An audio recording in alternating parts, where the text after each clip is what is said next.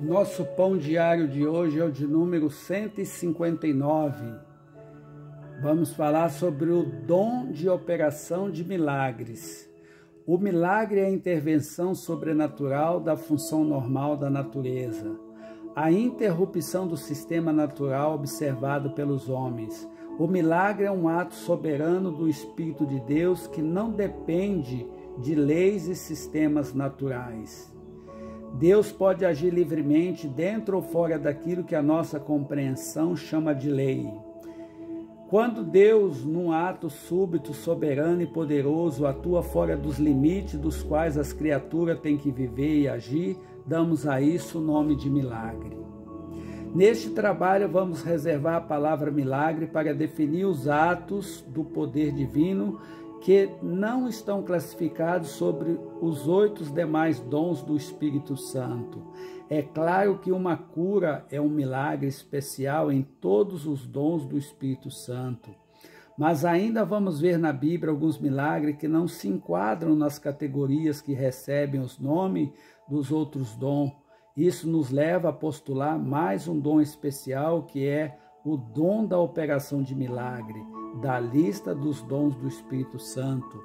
Vamos conferir em 1 Coríntios 12, 10.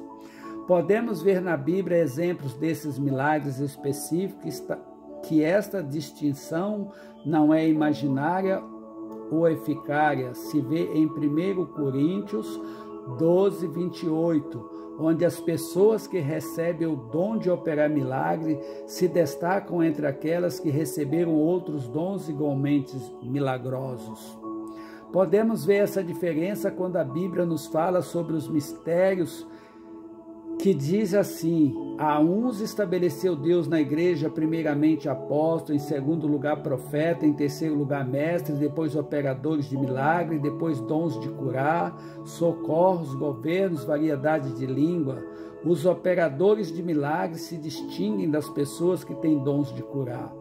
Os milagres incluídos neste capítulo são os que se ocupam com a natureza inanimada, com a manipulação de objetos ou forças inanimadas. A parte humana entra com demais dons, menos o dom de discernimento de espírito, que trata especificamente com elementos não humanos, sem que sejam elementos inanimados transformar água em vinho, a tempestade em bonança, a figueira em galho ressequido, são milagres nesse sentido bem restrito. O exame de algum deles através das páginas da Bíblia nos ensinará a finalidade e o efeito das operações de milagre. Por meio da operação de milagres, o povo que Deus escolheu para viver à altura da vocação divina foi salvo da destruição certa enquanto os pagãos de coração endurecido que os perseguiam pagaram com sua vida por causa do desprezo à operação de Deus, pois não reconheceu que foi Deus que milagrosamente abriu o mar vermelho na hora do êxodo para libertar seu povo e destruir seus algozes.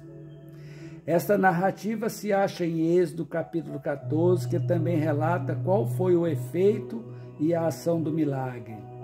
Viu Israel o grande poder que o Senhor exercitara contra os egípcios, e o povo temeu ao Senhor e confiaram no Senhor e em Moisés, seu servo. Veja Êxodo 14, 31. O resultado imediato foi a fé com Deus, e o resultado permanente foi que cada israelita aprendeu a pensar nessa grande libertação milagrosa.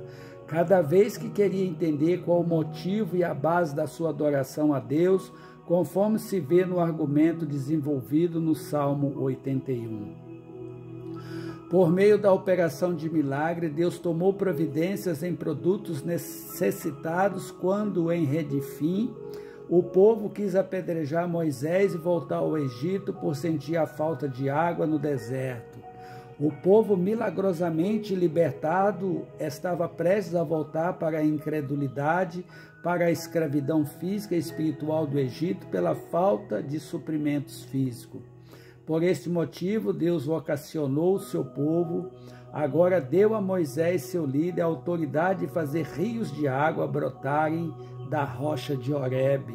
Veja Êxodo 17, versículo do 1 ao 7. Jesus Cristo alimentou com pães cinco mil homens pela operação de um milagre, mas hoje em dia Deus não opera milagres? Se falarmos assim, seremos como o povo descrito no Salmo 78 e merecemos a descrição dada no versículo 17. Aleluias.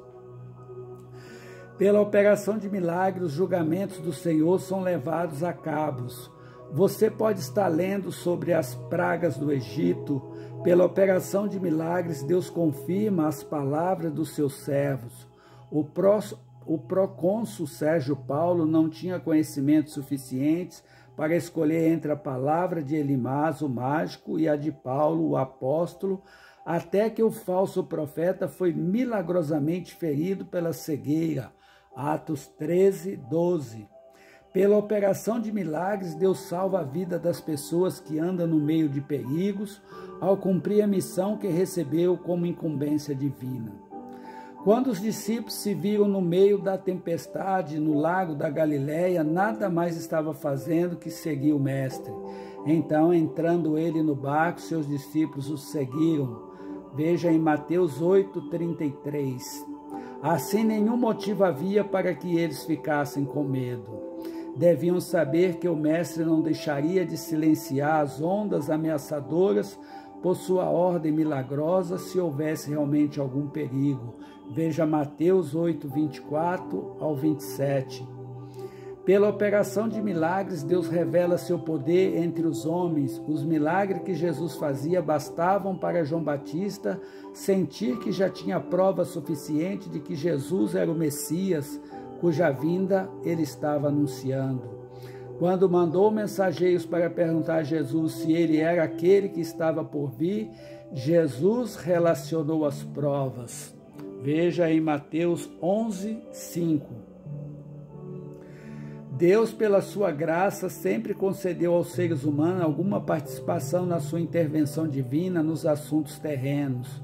Apesar de muitas vezes ter havido operações de milagres divinos sem a mínima cooperação humana, a confusão das línguas em Babel para desarticular a rebelião humana, Gênesis 11, do versículo 1 ao 9, a destruição de Sodoma e Gomorra para estipar as mais horríveis formas de pecado que ali graçavam, Gênesis 19, do 1 ao 29, e para demonstrar o outro lado da revelação divina, a estrela que guiou os magos do Oriente ao presépio de Jesus. Fato milagroso que serviu como arauto da vinda do Rei Salvador. Veja Mateus 2, do 1 ao 12. Todas essas operações do poder milagroso de Deus foram efetuadas antes de existir o corpo de Cristo. A igreja é abençoada com os dons do Espírito Santo, que torna os crentes coparticipantes da glória e do poder de Deus. Se achamos que não existe milagres hoje, talvez seja por falta de não termos olhos para ver. O livro de Jonas nos diz que quando o profeta desobediente e infiel foi lançado ao mar, a tempestade cessou. Jonas 11 do Jonas 1, versículo do 11 ao 16. É provável que um outro navio nas vizinhanças tivesse notado apenas uma súbita mudança na direção e na força do vento, sem nada perceber daquilo que o livro narrou.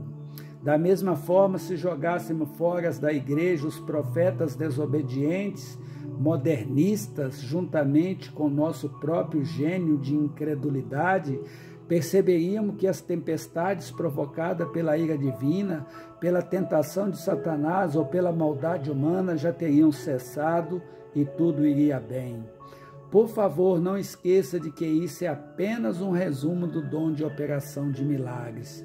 Se você tiver alguma dúvida, pode me procurar no privado, que eu tenho o maior prazer em orientá-lo. Oh, meu Deus, obrigado por mais este ensinamento. Eu te peço em nome do Senhor Jesus, abençoa a ferramenta que o Senhor usou para preparar este ensinamento e também aquela que compartilhou para que ela chegasse até mim. Amém e graças a Deus.